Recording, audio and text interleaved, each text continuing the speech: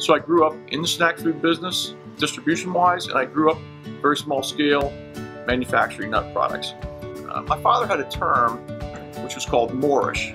and people were like, what's more-ish? He said it's when you want more and more and more. You eat something and you want more, then it's more-ish. If it's more-ish, it's good. If it's more-ish, it will sell.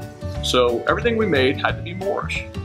When we first came down here to this facility, I had two other employees other than myself, and we had one customer, which was our own distribution company, my father's company. Uh, I had one customer, that was it. So we just sort of started from there and uh, had had faith in God, I guess, to get us through. Uh, I started out in the other end of town. Had three little tiny electric fryers. Uh, fried a lot of peanuts for George when I first started. I worked part time. This company has grown. As you can see back through the building, we've expanded through the years. We added uh, equipment, we became automated. Uh, the Pardoes have been a great family business for me to work for, uh, and everybody feels the same way. One of the reasons for our success too, and there's no question about this, is the quality of our employees. Uh, we have terrific employees.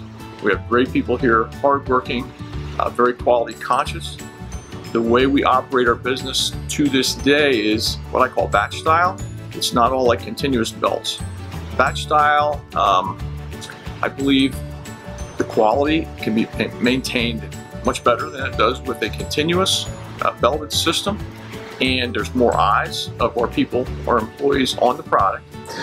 One of the things we pride ourselves on at Pardoe's is being able to do unique things for our customers and go go the extra mile to help develop new and unique items.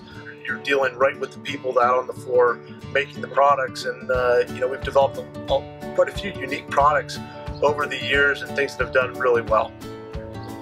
Our focus has always been and will always be, as I mentioned before, my dad said everything's got to be more-ish, so we make everything more-ish. The quality has to be there or we just aren't going to make it.